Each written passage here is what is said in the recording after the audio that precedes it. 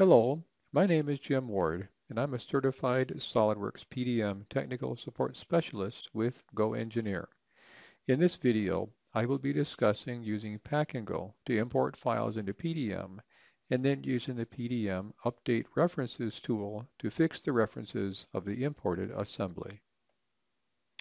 In this video, I will be using Pack and Go to import an assembly into PDM then I will check in those files to discover which files are duplicates. Once I discover the duplicate files, I will delete them. And then finally, I will use update references to change the references of the imported assembly to files that are inside of the same vault.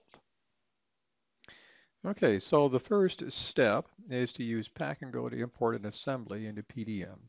I do have a relatively simple assembly here that I can use to do that. So I will start by selecting the drawing because the drawing references the assembly and then the assembly references everything else. So let's go down to SOLIDWORKS, choose Pack and Go. It gives a listing of all of the files that it will, um, will copy to the new location. Now, something I'm going to do for now, just for demonstration purposes, I'm going to leave one piece behind. I'm going to uncheck the handle. Anything that is unchecked will not be copied. So if you know that some of these files are duplicates, it helps you to uncheck them here. And then that way in the new location, you don't have to just um, delete it. Let's uh, choose the place that, that we want to copy it to. So I will select Browse.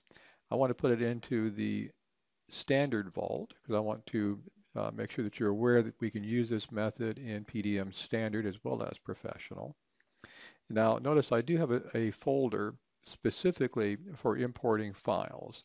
It helps if you do your pack and go into a single folder uh, while you uh, run through the import process. So I will choose that folder, select folder. It all goes into the import. Um, notice that the Save To folder now all has updated to the, the, the same folder, import and I'll just choose save and that will copy everything over into that folder. Now let's go take a look. Here's the Acme standard folder. Let's go into the import folder. And here's all these files that um, were, have now been imported into PDM. Uh, when Pack and Go does this, it does also update the references of any um, file that it copied to point to the new location. So that is helpful when you're um, putting files into a new location. Now, uh, these files are all currently checked out to, to me. Um, I'm currently logged in as the admin. Now, the first step is to check in the files. And the reason we do this is because we're looking for files that um, have a duplicate file name of other files that are already in the file vault. Now, in my case, if it's a duplicate file, I know that um, I don't want to keep the file that I just copied over. I want to just delete it. So I've selected all these files. I'm now going to check them in. And notice that in the check-in dialog, it tells me which files are not unique. And by the way, the, the file vault does have to be set so that um, duplicate file names are not allowed. So I'm not going to, to try and resolve these now. I already know that um, I'm going to delete these files that are not unique. Uh, in your case, you may want to stop and look at them individually and decide which ones you want to keep. But in my case, I've already decided that. So I will just check them in and notice the ones that did not check in. See, they're still checked out by me. Also here on, on the state column, there's nothing in the state column. So that's an indication that they have never been checked in. So now let me sort by checked out by, and that brings all the ones that are still checked out to me uh, to the top, and those are the ones that I know are duplicate files. So let's um, choose all, all of these duplicate files and delete them.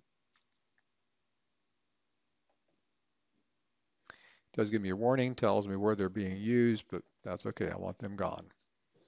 All right, so now that I have removed the duplicate files, now I need to update the references of the assembly so that it only references files inside of the PDM file vault. Now both PDM Standard and PDM Professional do have a nice tool for that. It's called Update References. Now, in order for update references to actually update the references in a, in a component, it does need to be checked out. Now notice in this case, if I choose the drawer and choose update references, it will automatically, here, let me move this down, you can see over here, it automatically checked out the file that I had selected. Now that's great if you only have one assembly. But if you have multiple assemblies, then you may want to check out multiple components as well. Matter of fact, you may find it easier just to check them all back out again. You can do that by going up to and select the entire folder and choose checkout. That way, if any um, files um, like parts are referencing other components, then you can update those references at the same time. Notice they're now all checked out to me. So again, I'm going to select the drawer and go to Tools and Update References.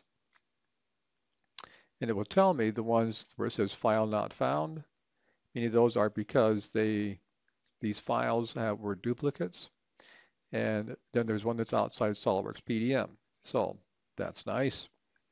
Um, that tells me what, uh, what the problems are or where they are, but this tool is actually much more handy than that.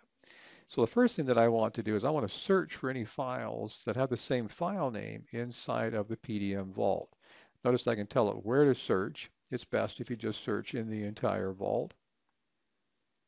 And I'm only search for files that have a warning, and I do want to search all subfolders. So I'll choose next. It's going through and it did the search and it did find three files. That's great. I'll choose finish. So now it has updated the reference to the location inside of the file vault. Now notice this one down here, it still knows about the old location, but it's outside of SOLIDWORKS PDM. So if I like, I can come up here with this one, say add files to vault very, this is a very nice feature in that if you know where it is, just click on this. You tell it where do you want to bring it into PDM. In this case, I'm just going to bring it into the same folder with the rest of the files. And I'll choose next and finish. And it takes that file and copies that file into the PDM vault. This last one here, file not found, now I can do a search to replace that file with another file of, of a different name if I like. Now in this case, uh, this is a toolbox component and I have my toolbox actually in a different vault. And so I'm going to browse to that location. And in this case, it is the same name, but I'm going to choose that, tell it open. But in this case now, since it is outside of the file vault, let me see if I can take that and choose add this file to the vault. In this case, I already have a hardware folder, so I'm going to add that to the hardware folder.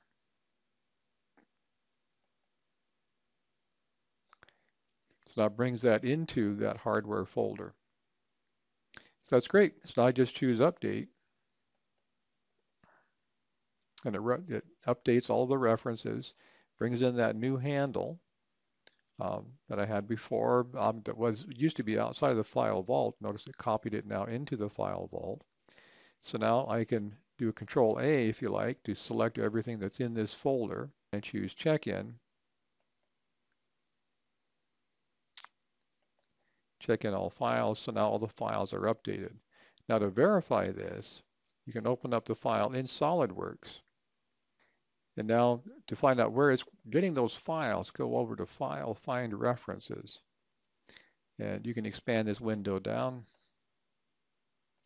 And you see that all of them are inside of Acme Standard. And uh, that's what you want. This has been uh, Jim Ward with GoEngineer demonstrating how to use Pack and Go and update references to help import files into SOLIDWORKS PDM. I hope you found this video informative.